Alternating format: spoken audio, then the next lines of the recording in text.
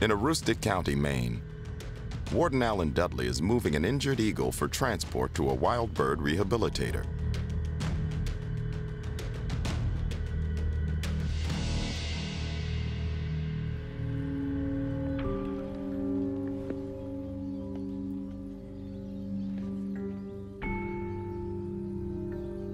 The eagle's docile behavior isn't a good sign.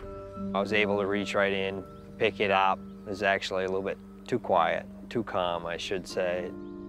Dudley wraps towels around the bird to keep it from being jostled in the car. He doesn't seem like he's too ambitious.